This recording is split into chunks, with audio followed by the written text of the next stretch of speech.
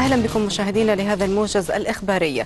عقد في منطقة الردود بوادي حضرموت لقاء عام لأبناء حضرموت.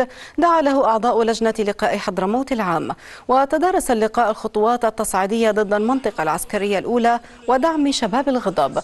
وأيد المجتمعون التصعيد الشعبي الذي يقوده شباب الغضب لانتزاع حقوق حضرموت وتعزيز الأمن في الوادي. هذا وأكد المتحدث الرسمي للمجلس الانتقالي الجنوبي. قتل ثلاثة مواطنين وأصيب آخر بينهم طفل في انفجار لغم زرعته الميليشيات الحوثية في قرية المقانع جنوب الحديدة.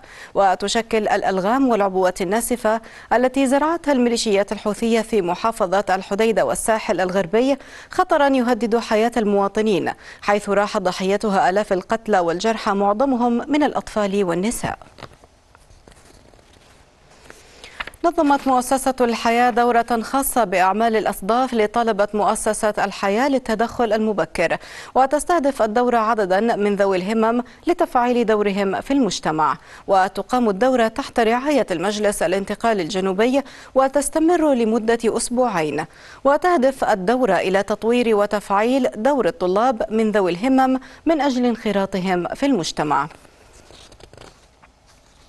نهاية الموجز إلى اللقاء.